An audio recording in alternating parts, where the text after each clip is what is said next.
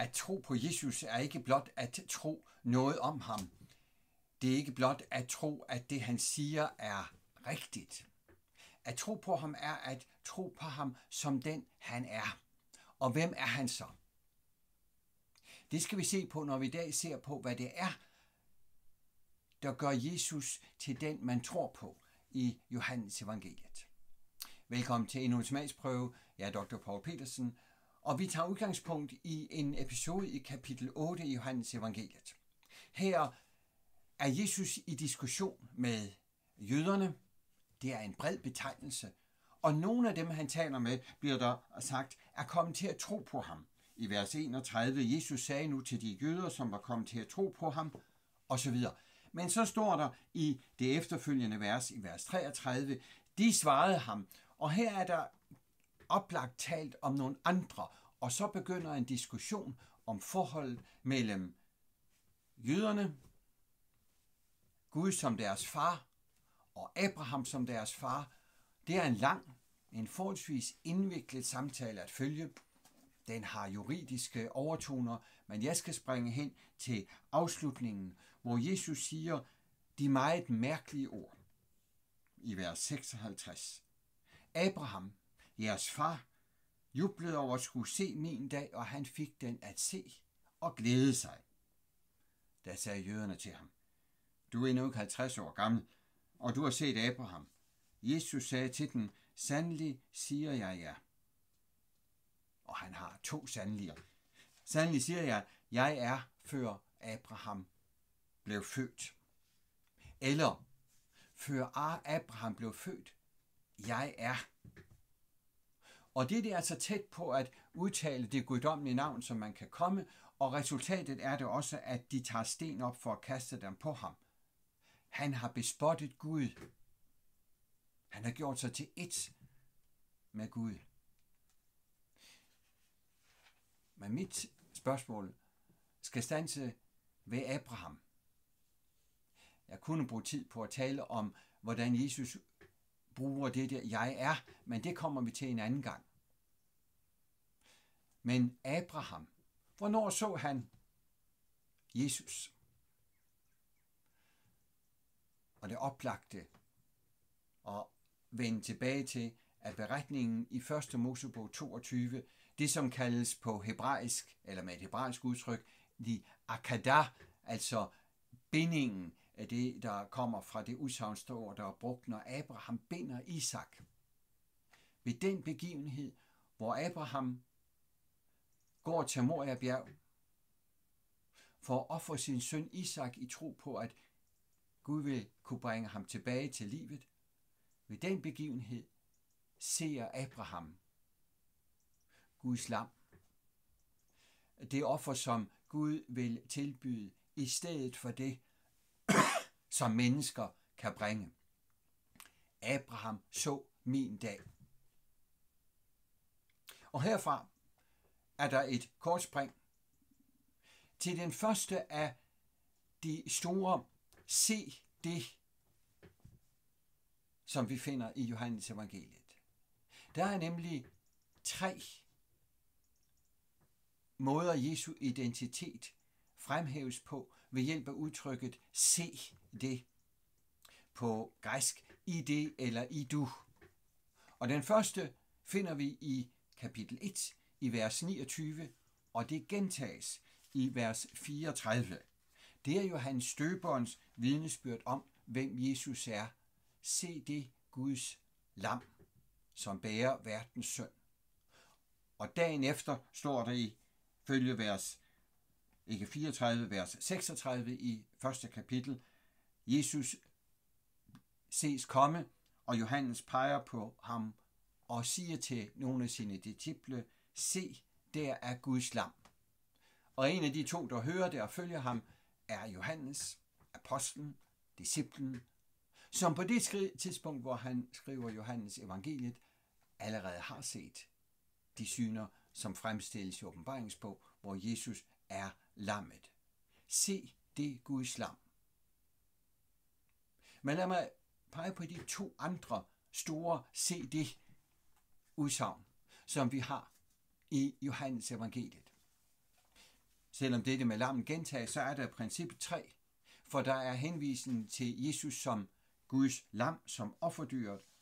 I kapitel 19 er der en overraskende henvisning. Måske et overraskende vidnesbyrd. Vi finder det i Pilatus' mund.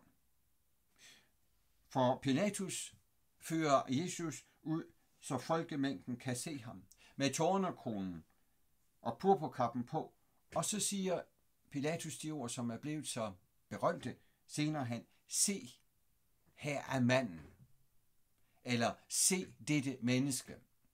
På latin bliver det til ecce homo, og naturligvis blev skriften ikke skrevet på latin, men det er det udtryk, som vi kender igen og igen. Se, hvilket menneske.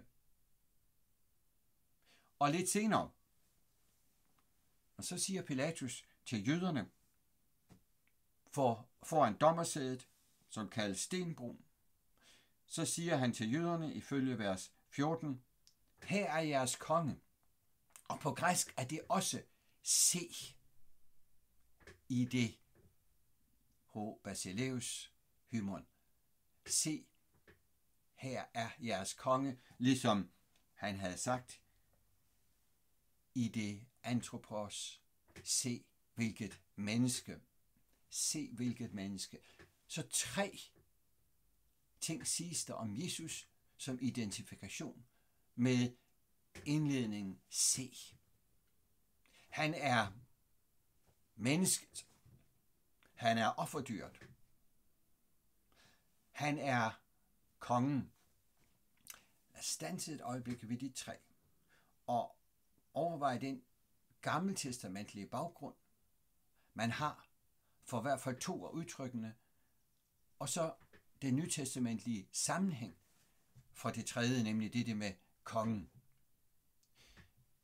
Når Jesus tager titlen menneskesønnen på sig, som vi finder generelt i evangelierne, også i Johannes evangeliet, når han for eksempel i kapitel 12 taler om i vers 23, timen er kommet, da menneskesønnen skal herliggøres, og hvor han henviser til sin korsfæstelse. Når Jesus bruger dette udtryk menneskesønnen, så har han det først fra Daniels bog 7. kapitel, hvor Jesus er mennesket, på hebraisk menneskesøn, eller aramæisk er det i det tilfælde, som simpelthen fremstiller vores repræsentant i den himmelske helligdom som et menneske svagt i forhold til de vilddyr, som Daniel har set i synet. Ligesom lammet er svagt i forhold til de monstre, som Johannes ser i synerne i åbenbaringsbog.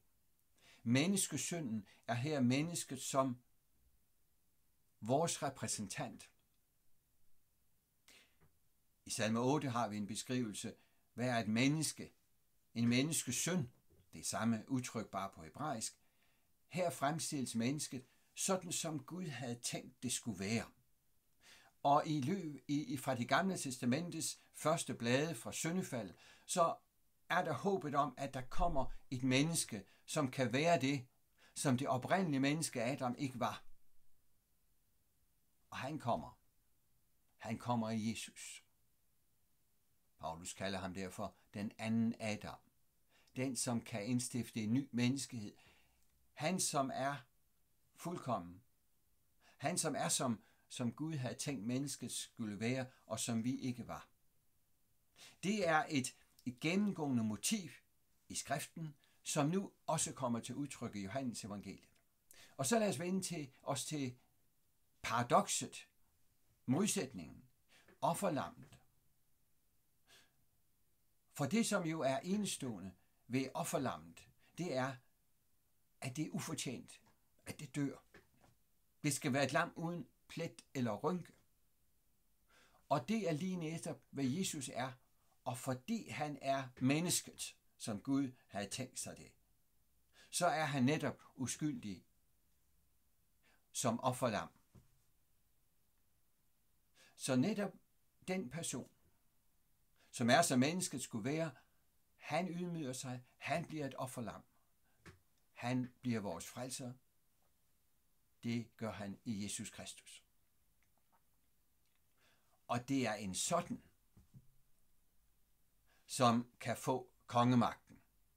Og i Daniels bog 7. kapitel og i åbenbaringen 5, er det jo netop det, som henholdsvis menneskesøn og lammen får givet kongemagten.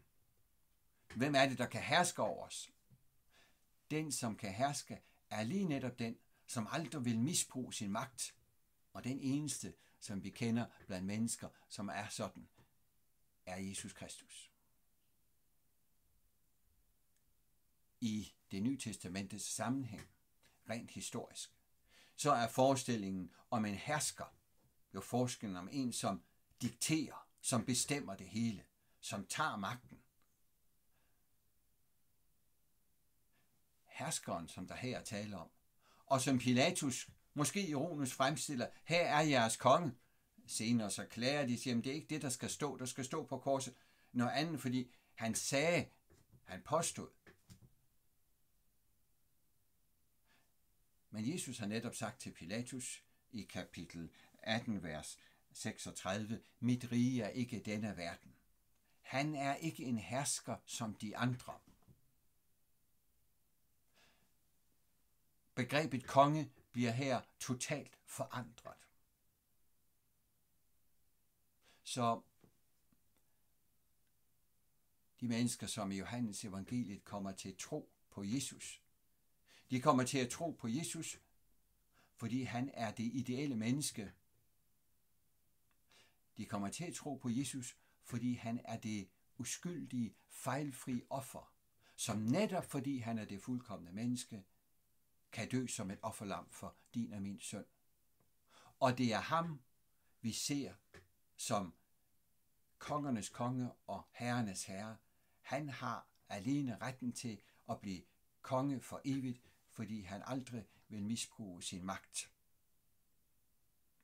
Tak fordi I lyttede med til denne smagsprøve fra Johannes Evangeliet, og velkommen tilbage, når vi taler mere om nogle af de spændende temaer fra dette fjerde evangelium.